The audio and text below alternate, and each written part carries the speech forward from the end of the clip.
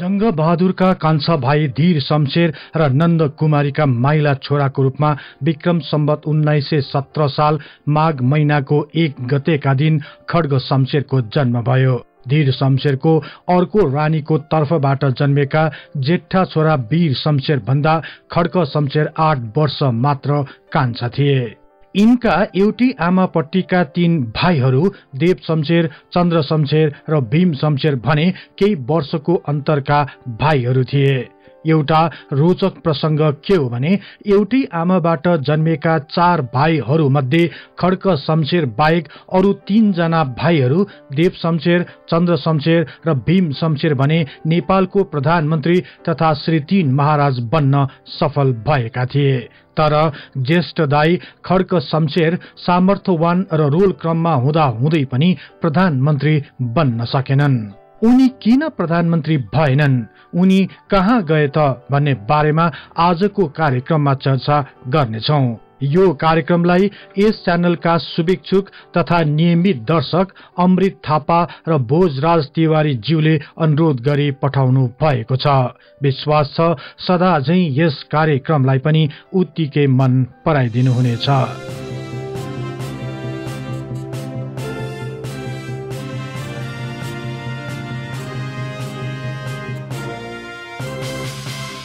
जङ्ग बहादुर राणाको मृत्युपछि उनका भाइ रणदीप सिंह प्रधानमन्त्री तथा श्री तीन महाराज भए भने कान्छा भाइ धीर शमशेर मुख्तियार बने। जङ्ग बहादुरका छोराहरू पनि अति शक्तिशाली पदहरूमा पुगेकाले धीर शमशेरमा एक प्रकारको भय उत्पन्न भयो। यही कारण धीर शमशेरले उनका एक होसियार माइला छोरा खड्ग शमशेरलाई प्रधानमन्त्री रणदीप सिंहको जासुसी गर्न खटाए। तर विक्रम सम्बत उन्नाइस सय एकचालिसमा धीर शमशेरको अचानक देहान्त भयो। यसपछि उनका सत्र भाइ छोराहरू मध्ये केटाकेटी नै रहेका साना भाइहरूको जिम्मा उमेर पुगेका दाजुहरूले लिने निर्णय लिए। जस अनुसार वीर शमशेरले सबभन्दा कान्छा भाइ हर्ष शमशेरको खड्ग शमशेरले चौधौं भाइ शेर शमशेरको रण शमशेरले तेह्रौं भाइ दुर्गा शमशेरको देव शमशेरले बाह्रौं भाइ यदु शमशेरको चन्द्र शमशेरले सोह्रौं भाइ खम्ब शमशेरको र भीम शमशेरले पन्ध्रौं भाइ जुद्ध शमशेरको जिम्मा लिए। धीर शमशेरको मृत्यु पछि पनि उनका छोराहरू र जङ्ग बहादुरका छोराहरू बीचको तिक्तता अझ बढ्न गयो। एक प्रकारले भन्ने हो भने उनीहरू बीच शीत युद्ध चलिरहेको थियो। यो शीत युद्धको मुख्य उद्देश्य नै एक पक्षले मौका पाए अर्को पक्षलाई सिद्ध्याउने थियो। प्रधानमन्त्री रणदीप सिंहले जङ्ग बहादुरका छोराहरूलाई बढी नै प्राथमिकता दिएकाले धीर शमशेरका छोराहरू सशंकित बन्न पुगेका थिए। यसरी जङ्ग बहादुरको छोराहरूले उच्च पदहरू पाएर शक्तिशाली बन्न थालेपछि धीर शमशेरका सत्र भाइ छोराहरू भयभीत हुन थाले। यसपछि यो समस्याको दीर्घकालीन हल खोज्न गोप्य रूपमा शमशेर खलकहरूको दैनिक जसो छलफल शुरू हुन थाल्यो। अन्तत एक मात्र उपायको रूपमा श्री तीन महाराज रणदीप सिंह अर्थात आफ्नै ठूलो बुवाको हत्या गर्ने निष्कर्षमा पुगे। यसका लागि अन्तिम छलफल र गृह कार्य गरिसकेपछि योजना अनुसार अघि बढ्ने निदो गरे। महाराज रणदीप सिंहका दरबारिया सहयोगी तथा अङ्गरक्षकहरूलाई विभिन्न प्रलोभनमा पारेपछि शमशेर खलकका भाइहरू एक खतरनाक योजना पूरा गर्न अघि बढे। धीर शमशेरका जेठा छोरा वीर शमशेर बेलुकीदेखि नै राजा पृथ्वी वीर विक्रमको छेउमा गई बस्न थाले। रातको समय थियो धीर शमशेरका छोराहरू खड्क शमशेर डम्बर शमशेर र चन्द्र शमशेर महाराजको खोपीतिर लागे।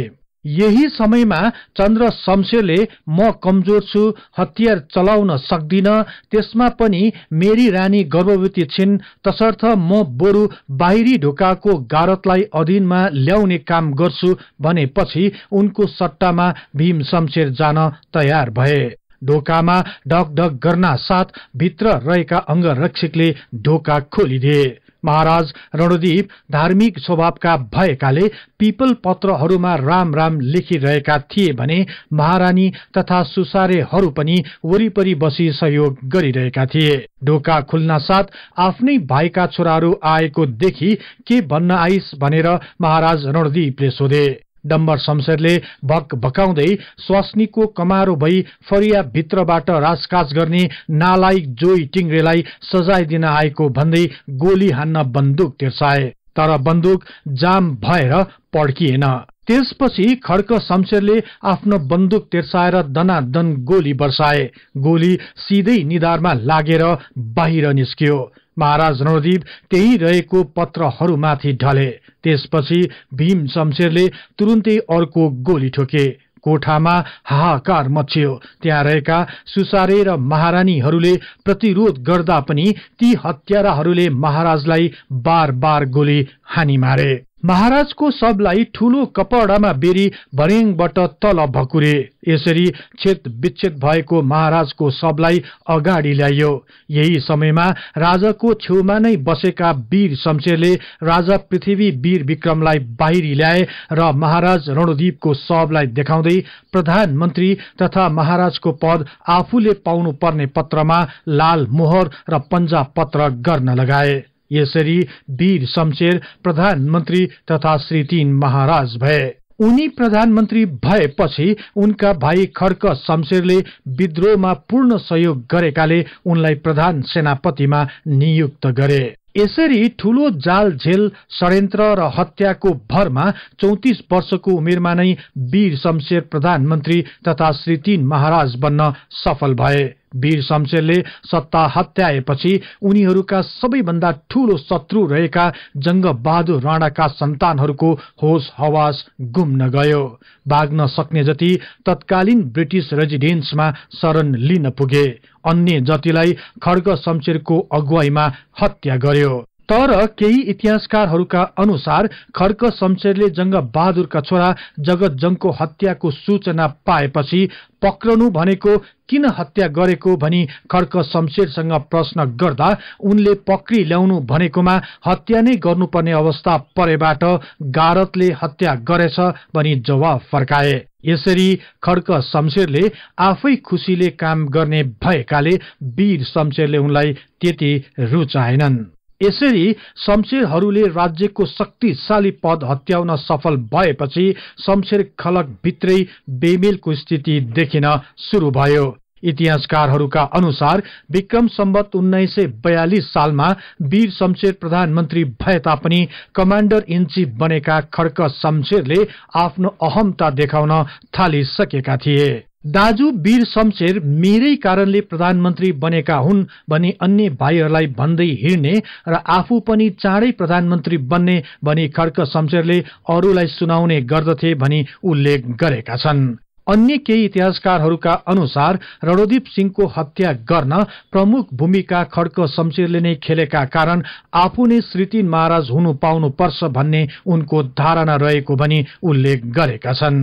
यस प्रकार सुरु सुरुमा वीर शमशेरको आज्ञा पालन गरे पनि पछि श्री तीन वीरको वास्तै नराखी सोध्नु पर्ने कार्य समेत नसोधी मनोमानी ढंगले काम गर्न थाले। यसरी खड्क शमशेरले आफ्नो रोबाफिलो परिधिलाई बिस्तारै बढाउँदै लगे। प्रधान सेनापति खड्क शमशेरले गरेका सबै कुराहरू बुझेपछि एक दिन श्रीतीन वीर शमशेर आफै एक्कासी निजामती अड्डामा पुगी खड्क शमशेरका प्राय सबैजसो मानिसहरूलाई खारेज गरी सो स्थानमा आफ्ना मानिसहरूलाई भर्ना गरे। सो घटनापछि प्रधान सेनापति खड्क शमशेर ज्यादै असन्तुष्ट भए। उनले श्री वीरलाई महाराजको ओहदा र प्रधानमन्त्री पदबाट समेत बर्खास्त गरी आफै श्री महाराज हुने चेष्टा गर्दै भित्र भित्र गुप्त तरिकाबाट षड्यन्त्र गर्न थाले। यसका निमित्त दक्षिण तर्फका तत्कालीन कमाण्डिङ जनरल भाइ चन्द्र शमशेर लगायतकालाई आफ्नो पक्षमा पारे। प्रधान सेनापति भाइले आफ्नो पछाडि रहेर विभिन्न षड्यन्त्र बनाइरहेको सूचना प्रधानमन्त्री वीर शमशेरको कानमा पुग्यो। सो षड्यन्त्रको बारे तथ्य पत्ता लगाउन प्रधानमन्त्री वीर शमशेरले एक गुप्त जासुसीको जाल फैलाए। विक्रम सम्बत उन्नाइस सौ त्रिचालिस साल फागुन महिनाको दोस्रो सातातिर खड्क शमशेरले भाइ शेर शमशेरको व्रत बन्द हुन लाग्दा सबै दाजु भाइहरूलाई निम्ता गरे। केही इतिहासकारहरूका अनुसार खड्क शमशेरले आफ्ना भाइको व्रतबन्धको मौका पारी सोही दिन प्रधानमन्त्री वीर शमशेरलाई बोलाई दाजुको हत्या गर्ने षड्यन्त्र रचेका थिए।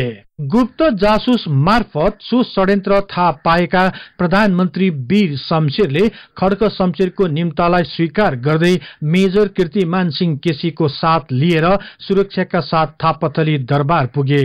तर त्यहाँको स्थिति शंकास्पद रहेको र केही क्षण पश्चात खड्क शमशेर पनि नदेखिएको दरबारको मूल ढोका पनि बन्द गरिएको सूचना पाउने बित्तिकै खाना खाँदै गरेका वीर शमशेर तत्कालै मूल ढोका खोल्न लगाई बाहिर निस्की बग्गीमा चढेर आफ्नो निजी निवास स्थान हिटी दरबार तर्फ लागे। त्यसपछि विक्रम सम्बत उन्नाइस सय त्रिचालिस साल फागुन बीस गतेका दिन प्रधानमन्त्री वीर शमशेरले सबै भाइहरूलाई दरबारमा बोलाए। सो दिन दरबार अगाडि ठूलो चोकमा कुर्सीहरू राखिएको थियो। ती कुर्सीमा देव शमशेर चन्द्र शमशेर भीम शमशेर र अन्य बारदारहरू आई बसे खड्क शमशेर पनि घोडा चढी तुरन्त दरबार पुगे। दरबारको मूल ढोकामा पुगेर घोडाबाट उत्रन साथ श्री तीन वीर शमशेरको गारद सेनाले प्रधान सेनापति खड्क शमशेरलाई घेरामा हाल्यो। यसको केही क्षण पछि नै खड्क शमशेरलाई पाता कसेर पाँच छ जना आठ परियाहरूले सबैका सामु ल्याए। यो देखेर अन्य भाइहरू भयभीत भए। दरबारको माथिल्लो तल्लाबाट वीर शमशेर आफ्ना सेनासहित सुसज्जित भएर निस्के। त्यसपछि वीर शमशेरले कड्किएर खड्क शमशेरलाई नालायक कुलङ्गार बनी गाली गरे। त्यहाँ भेला भएका अरूहरूलाई पनि होसियार हुनु पनि चेतावनी दिए। कुर्सीमा बसिरहेका वीर शमशेरका अन्य भाइहरूको डरले मुख सुक्यो। यसपछि श्रीतिन वीर शमशेरले खड्क शमशेरलाई श्रीतिन महाराज हुने रोलबाट झिकिदिए र प्रधान सेनापतिमा उनका अर्का भाइ रण शमशेरलाई नियुक्त गरिदिए। यसपछि पाता कसिएर बाँधिएकै अवस्थामा खड्क शमशेरलाई दरबार बाहिर लगियो। यो काण्डमा चन्द्र शमशेरको पनि सहभागी रहेको थाहा पाएपछि श्रीतिन वीर शमशेरले उनलाई पनि सजाय दिन तयार भए। तर वीर शमशेरकी कान्छी महारानी तोप कुमारीले सबै भाइहरूलाई हटाए भने काम चलाउन गाह्रो हुन्छ भनी सल्लाह दिएका कारण उनलाई माफी दियो। तर निष्कासित गरिएका खड्क शमशेरलाई भने अर्घा खाँची स्थित ठाडामा गई बस्न आदेश दियो। खड्ग शमशेरलाई हटाएर प्रधान सेनापति बनेका रण शमशेरको पनि तीन महिना पछि नै मृत्यु भयो। पच्चिस वर्ष पुगेका रण शमशेर अत्यन्त मदिरा सेवन गर्दथे।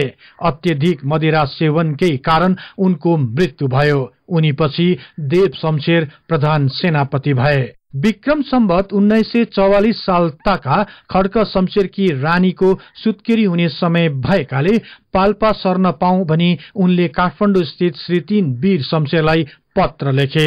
उनको अनुरोधलाई स्वीकार गर्दै प्रधानमन्त्रीले खड्क शमशेरलाई बडा हाकिम बनाई पाल्पामा पठाए। खड्क शमशेर पाल्पामा बडा हाकिम भएकै बेला ब्रिटिस पुरातत्वविद आन्टोन फियर उनलाई भेट्न आए। श्री तीन वीर शमशेरको आदेशमा खड्क शमशेरले लुम्बिनी स्थित अशोक स्तम्भको खोजमा विशेष सहयोग पुर्याए बुद्धको जन्मस्थल लुम्बिनी र तिलौरा कोटमा समेत केही शताब्दीदेखि माटो र जंगलले पुरिएको स्थानहरूमा उत्खनन गराए। यही उत्खननबाट अशोक स्तम्भलाई समेत निकाल्ने काम भयो। विक्रम सम्बत उन्नाइस सय पचास साल ताका खड्क शमशेरकी रानी तेज कुमारी बिरामी परिन् र काली गण्डकीको किनारमा उनको देहान्त भयो। उनी बित्नु भन्दा अगाडि उनले आफ्नो सम्झनामा स्मारक बनाइदिन पति खड्क शमशेरलाई आग्रह गरेकी थिइन्। त्यसपछि खड्क शमशेरले काली गण्डकीको किनारमा एक राम्रो दरबार बनाउन बेलायतबाट इन्जिनियर झिकाए। सोही संरचनाको आधारमा विक्रम सम्बत उन्नाइस सय चौन्न सालमा रानी महलको निर्माण सम्पन्न भयो। चौतिसवटा कोठाहरू रहेको सो भवन अत्यन्त भव्य र आकर्षक बन्न गयो। सो रानीमल आज पनि उत्तिकै चर्चामा रहेको छ। यो महललाई कतिपय लेखकहरूले नेपालको ताजमहल भनी नामकरण गरेका छन्। विक्रम सम्बत उन्नाइस सय सन्ताउन्न सालमा श्रीतिन वीर शमशेरको मृत्युपछि देव शमशेर प्रधानमन्त्री तथा श्रीतिन महाराज भए। तर उनलाई चन्द्र शमशेर लगायतका समूहले पात कसेर राजधानीबाट धपाएपछि चन्द्र शमशेर नेपालको प्रधानमन्त्री बन्न सफल भए। यसरी छल कपटबाट प्रधानमन्त्री भएपछि पाल्पामा रहेका चन्द्र शमशेरका दाजु खर्क शमशेरलाई मन परेन र उनले चन्द्र शमशेरको विरुद्ध विद्रोह गरे। तर सो विद्रोह सफल हुन सकेन।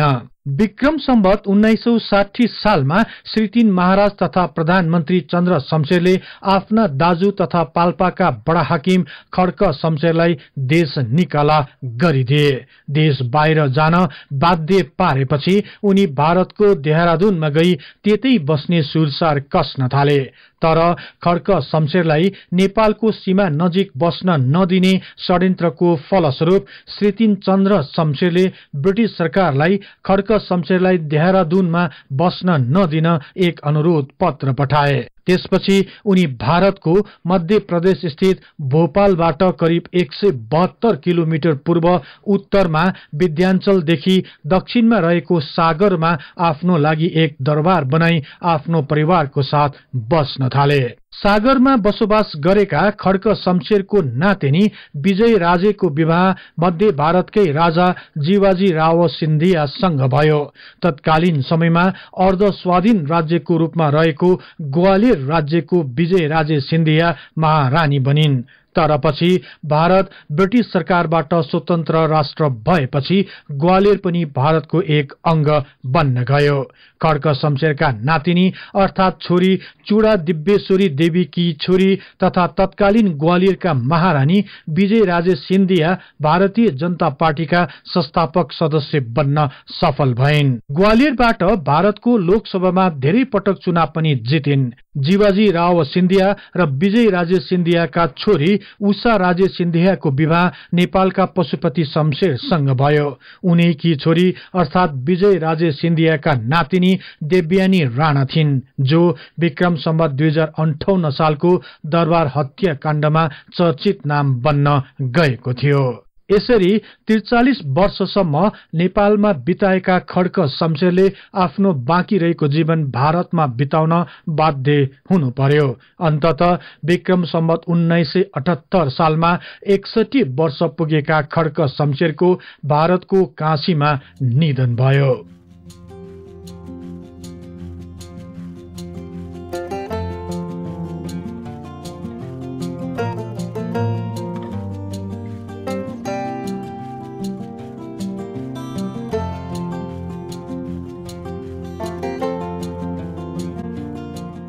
यो कार्यक्रम यहाँहरूलाई कस्तो लाग्यो कृपया कमेन्ट बक्समा लेखी पठाउनुहोला। यस्तै रोचक तथा तथ्य इतिहासको लागि हिस्ट्री इन नेपाली च्यानललाई सदैव सम्झनुहोस्। इतिहासको कुनै पनि कालखण्डबारे तपाईँलाई सुन्न र बुझ्न चाहना राख्नु भएको छ भने तल रहेको कमेन्ट बक्समा उल्लेख गर्नुहोस्। हामी सो बारे प्राथमिकताका साथ कार्यक्रम बनाउने नै जाँदा जाँदै यस च्यानललाई लाइक सेयर र सब्सक्राइब गर्दै बेल आइकनमा क्लिक गरी हाम्रो यो तथ्य इतिहासको बारे ज्ञान प्रसार गर्ने लक्ष्यलाई साथ दिनुहोस् भन्दै अर्को कार्यक्रममा फेरि भेट्ने बाचा गर्दै म सार्थक नेपाल बिदा हुन्छु। हवस् त नमस्कार।